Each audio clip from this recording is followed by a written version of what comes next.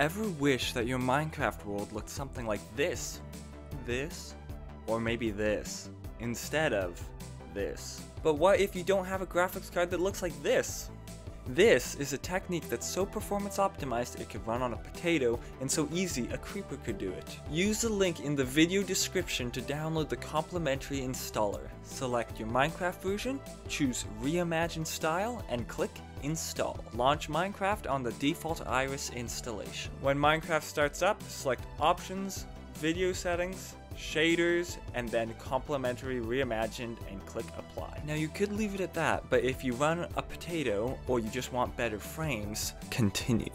Go to shader pack settings and then to performance settings. The biggest performance killer is your shadow quality.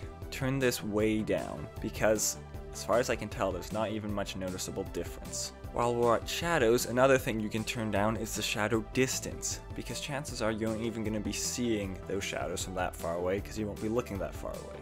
Another thing, if you can live without it, is ambient occlusion. Turn that off. You can turn the water down to low because it will still look good and it won't have this weird white effect around the edges. Turning off FXAA can also help. What's more, I hate waving textures because they take away from the look of Minecraft and they also cause a bit of lag. Turn them off. Something that will make the thing look better is turning your motion blur on and just leaving it at the default value should be fine or turning it down a little bit. I hope your potato can run this and go watch another one of my videos.